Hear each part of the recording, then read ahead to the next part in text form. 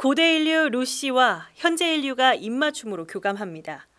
시공을 뛰어넘는 이들의 초현실적인 만남을 통해 인류의 과거와 현재 또 미래를 표현해낸 임근우 작가의 작품입니다.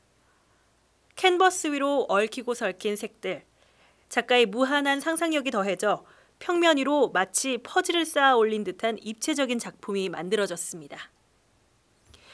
2018 아트인 강원전이 26일부터 춘천 문화예술회관에서 열리고 있습니다. 아트인 강원은 강원도에 뿌리를 둔 작가들 중 자신만의 독창성을 추구해가는 작가들로 구성된 순수 전문 미술단체입니다. 이번 전시는 아트인 강원의 2018년 정기 회원전으로 펼쳐집니다.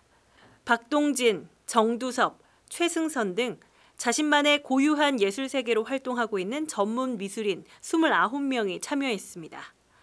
각각의 미적 상상력을 감상하고 서로의 알고리즘을 공유하자는 의미에서 이번 전시의 주제는 29가지 상상과 조형적 알고리즘입니다.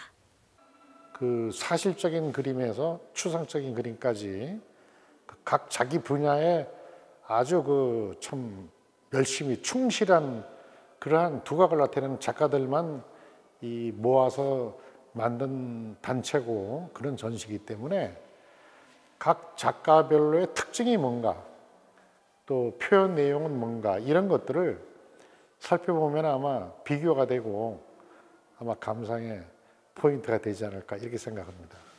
이번 전시에서도 평소 접하기 어려운 100호와 200호 사이의 대작들이 대거 출품돼 보는 재미를 더했습니다. 2018 아트인 강원 전시는 오는 7월 2일까지 이어집니다. 강원일보TV 전윤입니다.